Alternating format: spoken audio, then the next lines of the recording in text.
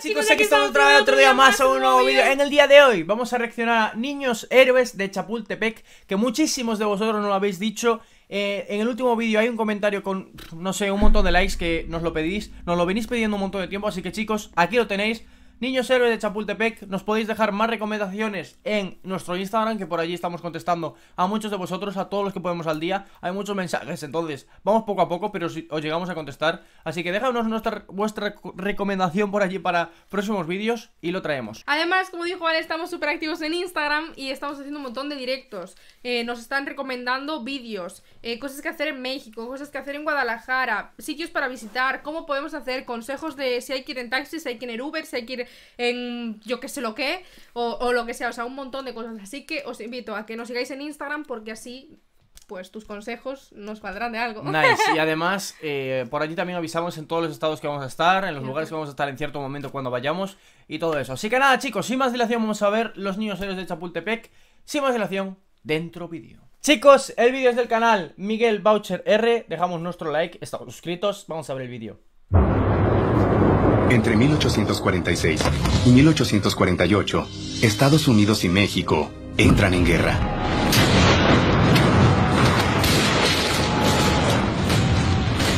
Al finalizar la contienda, México pierde casi la mitad de su territorio y Estados Unidos se convierte en una potencia continental. Sobre el final de este enfrentamiento armado, surge la leyenda de los niños héroes. Seis jóvenes cadetes del colegio militar mueren enfrentando al enemigo cuerpo a cuerpo en el castillo de Chapultepec. Para los mexicanos son un ejemplo de valor y sacrificio.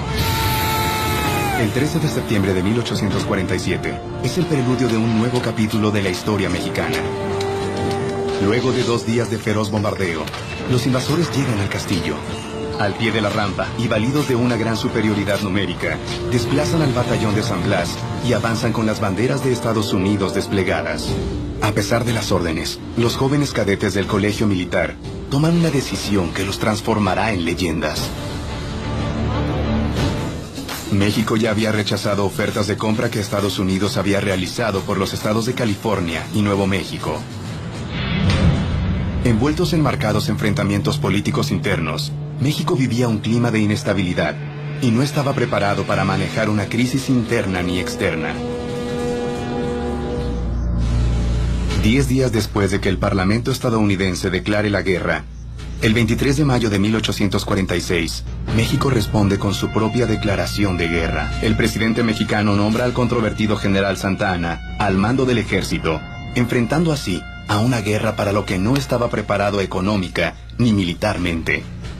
En 1846, Estados Unidos decide invadir México y provoca un enfrentamiento armado al enviar tropas a Texas. Este territorio, que hasta ese momento estaba declarado como Estado independiente, permanecía aún ocupado en parte por el ejército mexicano. Con este accionar, se desata la guerra entre México y Estados Unidos. El ambicioso plan de invasión del general Scott continúa. Las tropas estadounidenses avanzan desde el oriente hacia la Ciudad de México. Los jóvenes cadetes del colegio militar son conscientes que su posición se encuentra en un paso obligado hacia la conquista de la Ciudad de México.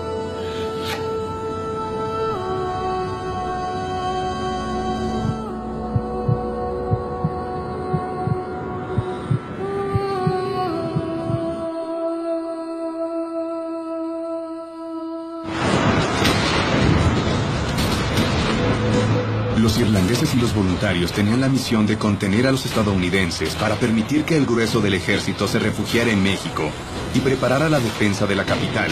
Y cumplieron cabalmente su misión, enfrentando a un enemigo muy superior en número.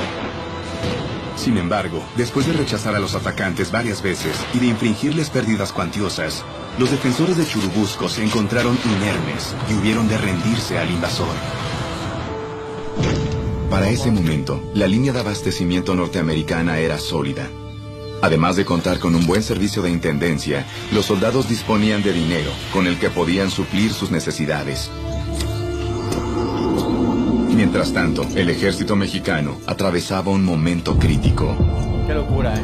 Afrontaban las eh, eh, ¿Te das cuenta? O sea, un ejército tiene eh, como todo más a mano y como que está todo bien y el otro está y Algo parecido fatal. cuando viéramos lo de la guerra de las Malvinas Sí, con también, Argentina, ¿no? sí. Que el ejército inglés estaba muy por encima. Sí, full y, Y- y al revés. Qué Sí. heavy, tío. Qué heavy esto, es tío. triste, o sea que a la hora de luchar alguien, ¿sabes? Me parece que una locura lo de los niños. dispares. Me parece una locura de los niños. A ver qué pasó, o sea, Sí, sí, al a final, pero me parece cómo- una locura que, que le echaron tantos huevos, amigo. Pues sí. Batallas mal pertrechados, desprovistos, no solo de municiones y pólvora, sino también de alimentos e insumos sanitarios.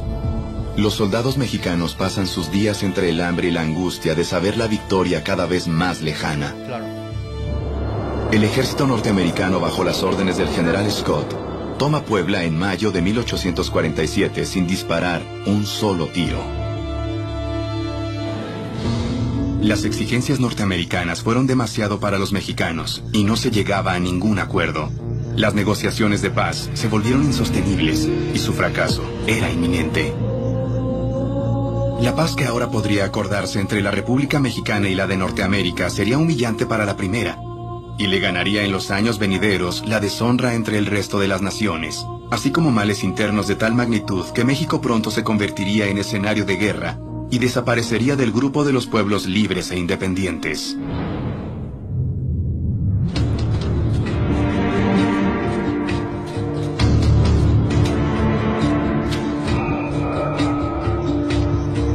130 kilómetros de Puebla, los cadetes del Colegio Militar de Chapultepec reciben la noticia del nuevo avance del invasor. En el lapso de ocho meses, los ejércitos de México y Estados Unidos se enfrentaron en La Angostura, Veracruz, Cerro Gordo, Puebla, Padierno, Churubusco y Molino del Rey. Para septiembre de 1847, el ejército norteamericano comandado por el general Scott está cerca de culminar su campaña militar por suelo mexicano. El único obstáculo que lo separa de la Ciudad de México es el castillo de Chapultepec.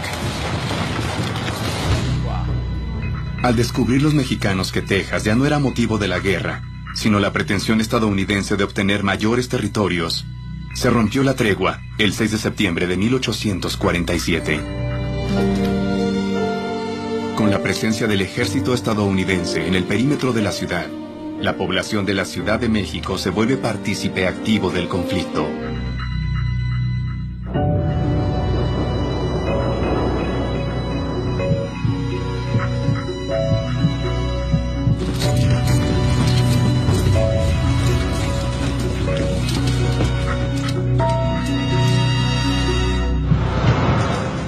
Primeras horas del alba, el castillo fue bombardeado por la artillería estadounidense. Les tomó solamente una hora derrotar al ejército mexicano. Al pie del cerro, los invasores ya se saben vencedores y comienzan a subir hacia el castillo con las banderas de Estados Unidos desplegadas. Pero encuentran una última resistencia. Desde el interior de la fortaleza, algunos jóvenes cadetes del colegio militar no se rinden y defienden la bandera nacional a fuerza de balas y lucha cuerpo a cuerpo hasta la muerte. El cadete Fernando Montes de Oca muere asesinado por la espalda. Tenía 18 años. El teniente del cuerpo de ingenieros Juan de la Barrera muere en la defensa del Hornabeque, ubicado al sur del cerro. Tenía 19 años. Madre mía. El cadete Vicente Suárez muere en el puesto de centinela. Tenía 14 años. 14 años. El cadete Francisco Márquez muere enfrentando a un grupo de soldados. Tenía 12 años. El cadete Agustín Melgar dispara al invasor hasta quedarse sin municiones. Tenía 18 años. De la vida de Juan Escutia poco se sabe. Sin embargo, su muerte se transformó en leyenda. Para evitar que caiga en manos enemigas, se envuelve en la bandera patria y se arroja al vacío.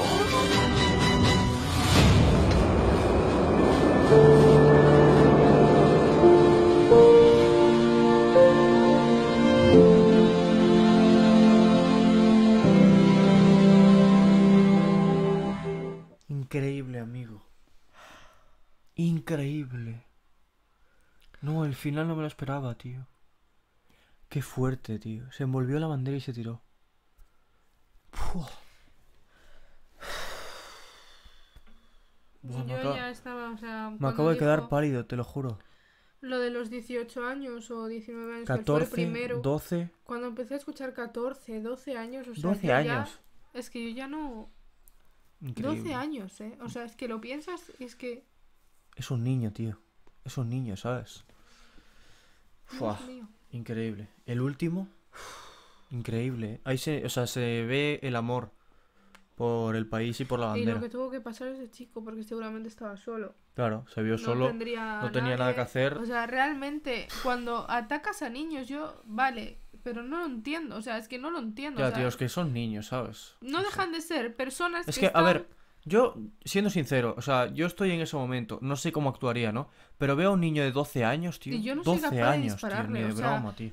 Es que no sería capaz, o sea, yo lo siento, por mucho que yo tenga que hacer, porque soy el ejército, soy lo que sea, y tengo que hacerlo porque es mi trabajo de ir y conquistar México, un niño. conquistar lo que sea. Es un niño, yo tío. con un niño no podría. Es que y más niño, cuando tío. notas que matan a uno, matan a otro, o sea, eh, por favor, o sea, es que no lo entiendo. O sea, no, no me entra en la cabeza que alguien pueda hacer No daño sé. a una persona así. Increíble, la verdad. O sea, México tiene una historia increíble. Esto, O sea, o sea, me pareció. no tenía ni idea, la verdad. Nunca lo había escuchado. No, Brutal. O sea, qué huevos y qué amor por... O sea, se ve desde eh, sus padres y sus superiores y etcétera el amor que, que le enseñan al, a- y los valores que le enseñan a los niños, ¿no? En plan, de, de amar a su país. Esa persona no tendría ni, ni familia, seguramente, yo creo. ¿Por qué? No sé qué me da que están ahí, ¿sabes? Igual sus amigos eran los cinco personas que estaban con él, ven que están matando, que se va a quedar solo y ah, una no, ya. persona Oh, en ese momento estaría solo, digo yo, pero a ver, igual puede tener familia, no lo sé. No sé, igual no, lo actuarías de esa forma, ¿eh? yo creo, si tuvieras familia. Por... Porque pensarías también en tus padres. Son niños, eh. Por eso, pensarías en tus padres. Ya, pero tío, son niños. A lo mejor en ese momento actúas sin sentido, o sea... Ya, no lo sé, no lo sé, pero demasiado bruto. Habría que estar en el lugar. Qué locura, chicos. Así que nada, hasta aquí el vídeo de hoy. Eh, espero que os haya gustado. No sé, eh, me acabo de quedar de piedra. Eh, así que nada, un besazo enorme. Os queremos. Esperamos veros muchos, muchos, muchos por México. Ojalá poder visitar el castillo de Chapultepec. Y nada, un besazo enorme y nos vemos en el próximo vídeo, chicos.